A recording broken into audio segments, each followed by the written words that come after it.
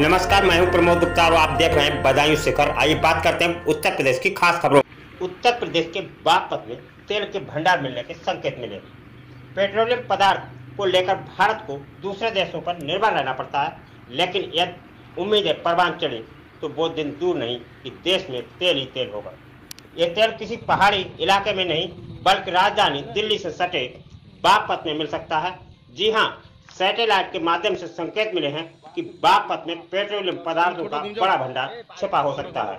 इसी संभावना के तहत ओएनजीसी ने बागपत के किरठल गाँव में खुदाई भी शुरू कर दी है। क्या बागपत की धरती के नीचे छिपा पेट्रोलियम पदार्थ का अकूत भंडार क्या बागपत की धरती पूरे देश को तेल की मांग पूरा कर सकेगी? क्या बागपत के लोग अब हो जाएँगे माला माल क्या बागपत का केठल गाँव दुनिया के नक्शे में चमक उठेगा। ये ऐसे ही कुछ सवाल जिनके जवाब कुछ ही दिनों में सामने आने वाले हैं। सैटेलाइट के माध्यम से जाँच की गई तो पता चला कि किरठल गाँव में रहने वाले बाबूराम के खेत में तेल ही तेल है। यहाँ 2000 से 2500 फीट की गहराई तक खुदाई की जा सकती है।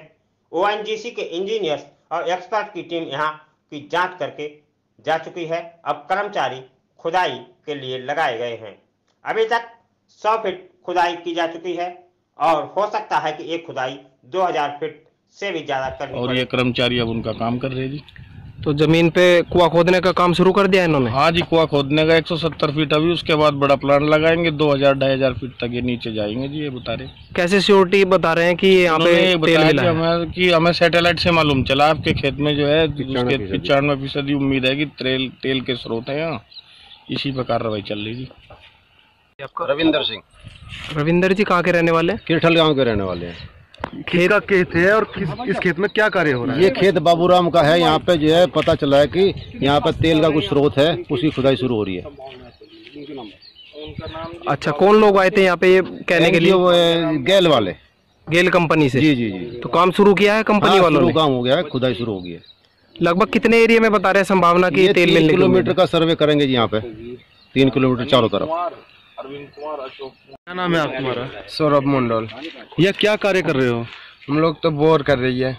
किस चीज़ का बोर कर रहे हैं? एक क्या है मिट्टी का अंदर जो कच्चा तेल होती है ना जी। उस कच्चा तेल की जाँच चल रही है। कौन कंपनी किसको करा रहा है? ये तो एनजीसी कंपनी है। अच्छा। वही करा रही है। कब से करा रहे हैं हम तो काम कर रही है दो तीन महीना हो गया। गाँव में कब से आए हुए हैं आप यहाँ? इधर तीन दिन हुआ।